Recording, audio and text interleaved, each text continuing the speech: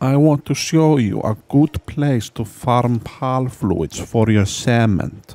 It's called Ashirope Hill.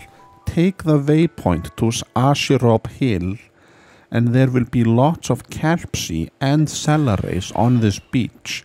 All you do is run back and forth and kill Celarays and Kelpsees over and over or capture them. You, you decide.